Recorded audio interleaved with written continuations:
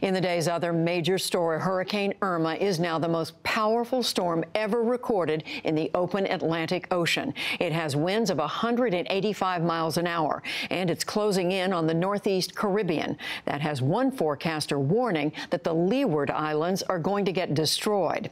Ed Rappaport is the acting director of the National Hurricane Center, and he joins me from Miami. Ed Rappaport, the strongest storm ever in the Atlantic. What is known about Irma right now? Well, the winds are at what we would put the category five level. That's as high as it goes.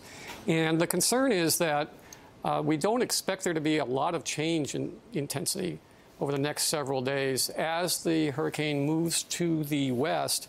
And here's the forecast from the National Hurricane Center. And we've got the center forecast to move across the northeastern eastward Lesser Antilles, and then very near the north coast of Puerto Rico, um, Hispaniola, and then Cuba as a category four or perhaps still category five hurricane. Why, why are you saying you don't expect much change in the storm?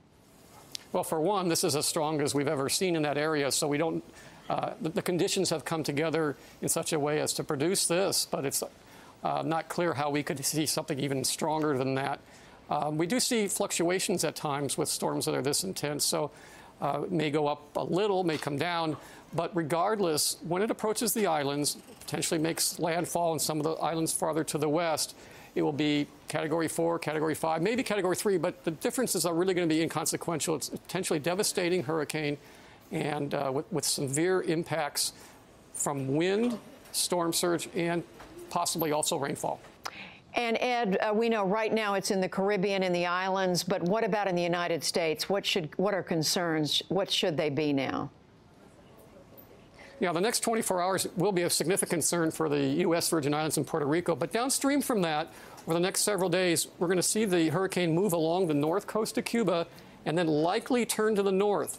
What we don't know quite yet is where that turn is going to occur relative to Florida, east coast, west coast, over the state.